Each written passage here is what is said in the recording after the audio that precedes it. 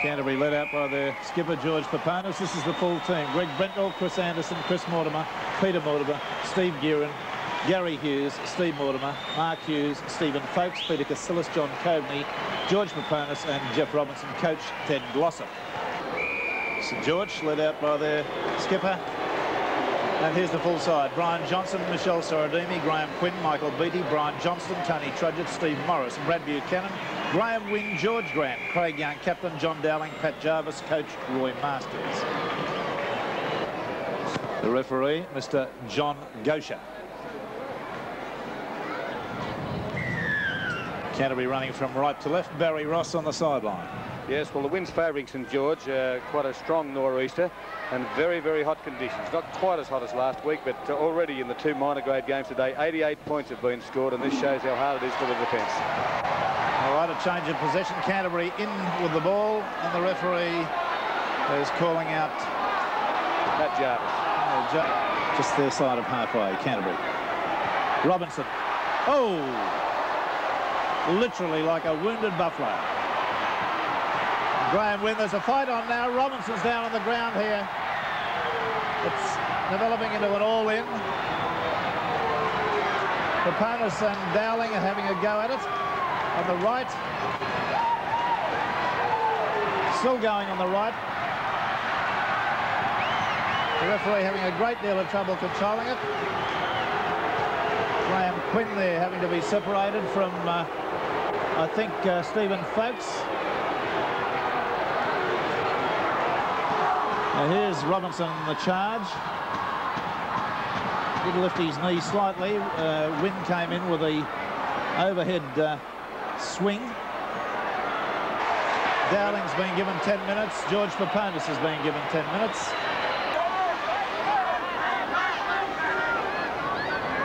Gary Hughes, Mark Hughes.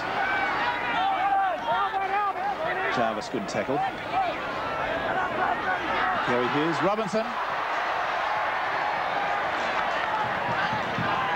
George Grant stood his ground. Robinson's over the top of him. Steve Mortimer, little chip through. Johnson can't get to it. It's a try.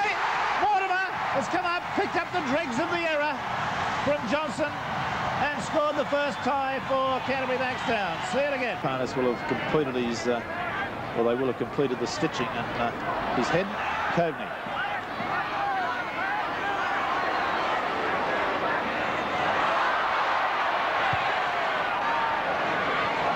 A great kick, left footer from Mark Hughes. And that's again, tactically, territorially, touch judge in. Yes, well, uh, there was an incident between Young and Coveney then, and after the play the ball, and you were following the ball, Rex Coveney uh, attempted to punch Young, and then hold his arm. He's holding it now. I don't know whether it's a bite he's claiming.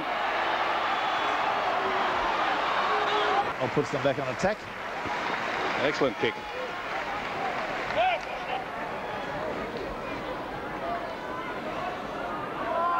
And we'll see a replay of this game next Sunday morning. Just preceding Sports World, which starts at 10.30 and goes through to 1. Complete comprehensive coverage of all sport with a large segment devoted to rugby league. Brentnall, dummy. Got the pass to Peter Mortimer, but he was tackled straight away. Peponis, Gary Hughes, spreading out to Casillas.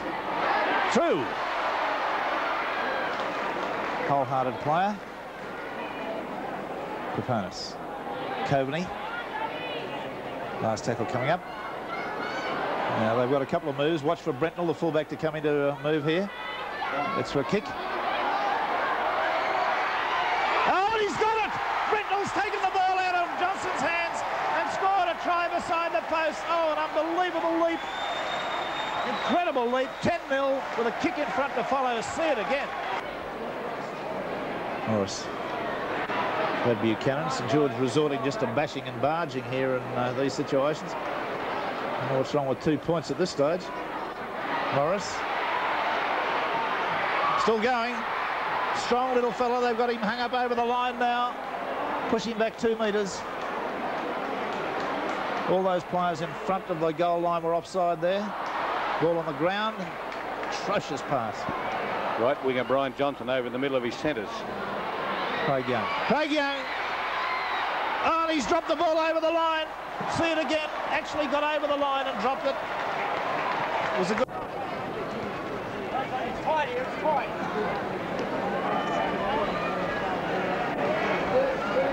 Chris Anderson.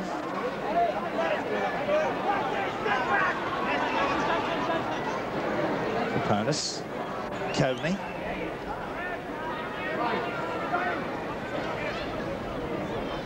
Peponis. Switch a player back across the ruck to Folkes. Unloads nicely to Mortimer, then to Gary Hughes. Peter, Mortimer back inside of his brother Chris. He's kept it wide open. Going hard for the corner. He's got support, gives it to Gearin. Gearin may go on with it. He gives it past to Mortimer. Steve, and he's in for a try right underneath the post. Out of the blue. A marvellous try. A bit of combination between Chris and Peter Mortimer. And there's the attendance today, 16,195. Yes, I was 195 out. Dowling.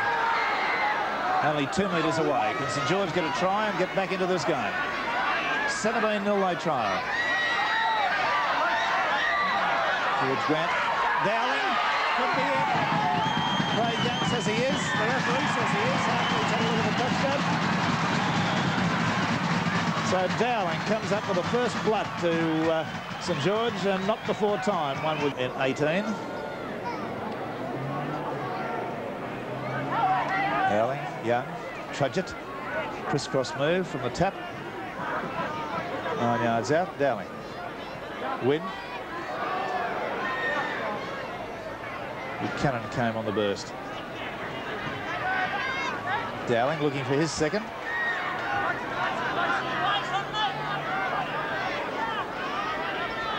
Buchanan, Craig Young nicely back on the inside. Oh, that was close thing to win. Great tackle by uh, Baker, was it? No, Stephen Steve. Folkes. There's a try, Soldini. The defence just opened up there a little bit. Canterbury 17, St George 6. We've had 20.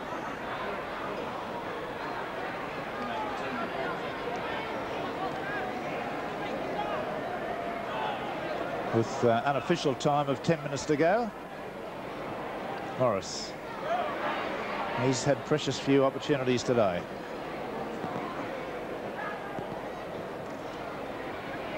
There's a bust right up the middle by Jarvis. He could run and score here. He's going to. No, it's. Oh, he's lost the ball. Lost it backwards, and it's a try now. There was no knock on. When he was tackled, it was finally knocked backwards, and Peponis arguing the toss about that. But Bugden's the man that comes. Uh, Trudgett. Safe football. That means no mistakes. Trudgett. St George all in a bunch. Jarvis uh, again getting his body through the tackle. He's done pretty well in the last 10 minutes. Craig Young. Buchanan. Players throwing their arms in the air there, wanting the pass. Craig Young belting along. Oh, there's a try to Jansen. Easy. And Craig Young's opened it right up for that one. A funny ball game, this one. Canterbury 17. St George 4. Our time. Need some calm heads out there at the moment from both sides. The to pay if St George get up. There's the hooter in the background. That's the end of the section. So a valiant effort by St George's, failed by only two points. Canterbury failing, uh, not failing, Canterbury visibly wilting in the last 15 minutes of this game. So Canterbury 17, St George 14. Our award winner today, among many good individual performances, was Peter Casillas, the Canterbury Bankstown second rower, who I thought was quite outstanding in the context that he just gave a magnificent 100% performance in both attack and defence, and a very, very worthy winner of the award for today. Results of the other matches in today's round, Canterbury 17, St George 14.